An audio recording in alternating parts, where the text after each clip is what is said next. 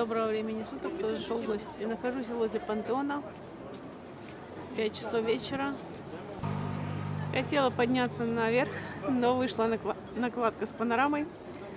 Надо приходить желательно до 3 часов дня, а еще лучше раньше, чтобы попасть наверх. Иначе просто как бы укомплектовано все. И я пришла в 4 часа и уже не пускали наверх, хотя пантеон работает до 6 вечера.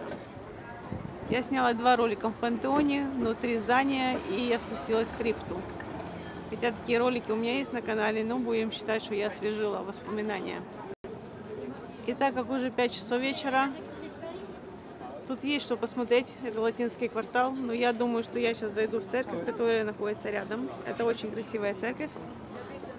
С виду она маленькая, но на самом деле внутри очень интересно. Она очень оригинальна. Идем посмотрим церковь. Сверху спускаются люди, я пооблизывалась сегодня. Но иногда бывают накладки. Я так спонтанно приехала, посмотрела, что сегодня не ветрено, и рванула в город. Я живу не в центре Парижа, а сбоку, можно так сказать, ближний пригород.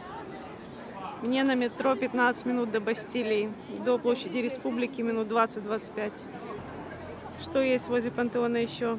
Есть, конечно, известнейший университет Сорбона, ну и парк Люксембург. А также есть музей, посвященный двум известным ученым Кюри. Автобус 24 идет прямо к моему дому. Почти. И два сразу подряд. Когда бастовали, мне надо было сюда приехать. Вот я на нем сюда приезжала от себя. У нас очень жарко, все раздеты в футболках до 30 градусов на выходных. Сегодня, завтра.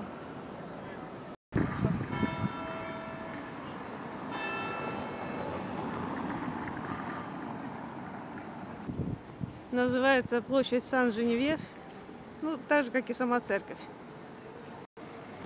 Эглис Сан-Этьен-Димон.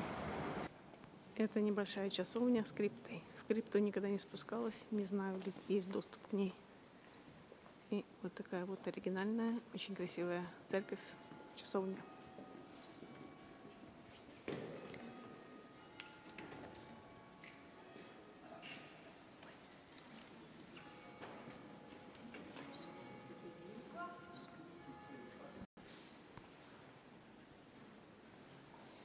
Она внутри достаточно белая, необычная для таких церквей того времени.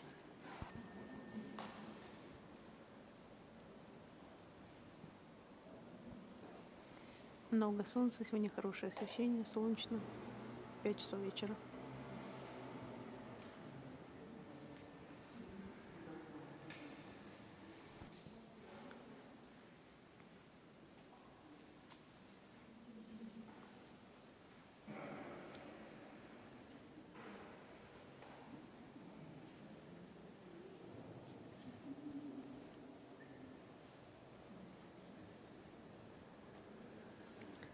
По архитектуре она оригинальна, одна в своем роде в Париже. Такая маленькая церковь, интересная.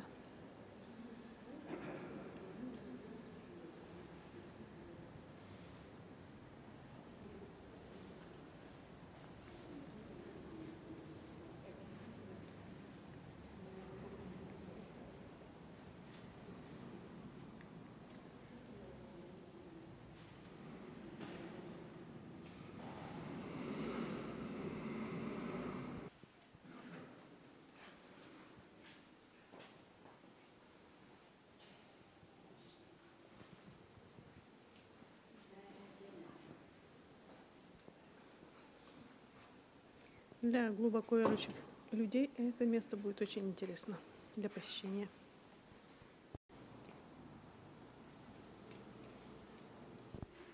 Написано «сервеву па», то есть возьмите хлеб, если хотите, бесплатно.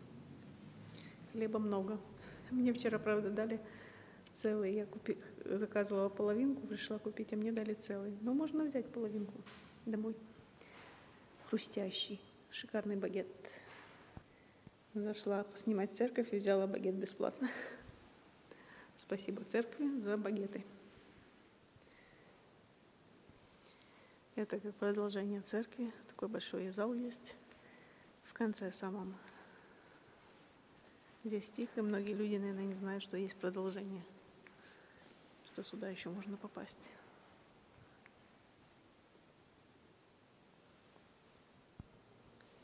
Здесь вы увидите красивые интересные витражи.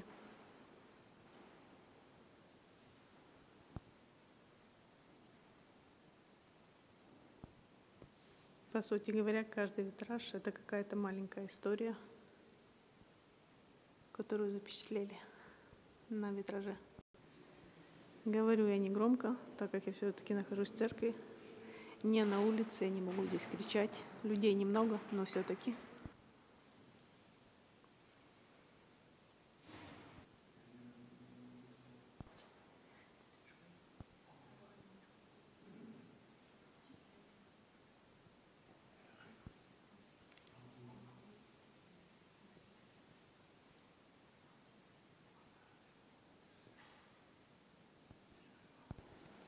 Вот такая вот интересная церковь есть прямо рядом с пантеоном. Официальное название Сан-Этьен-де-Монт.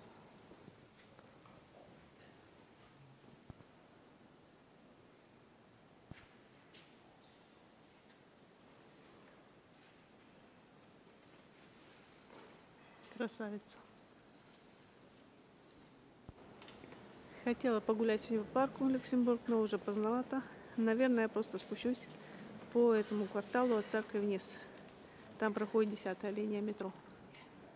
Итак, это была церковь возле пантеона. Я потом укажу в названии, как она называется правильно.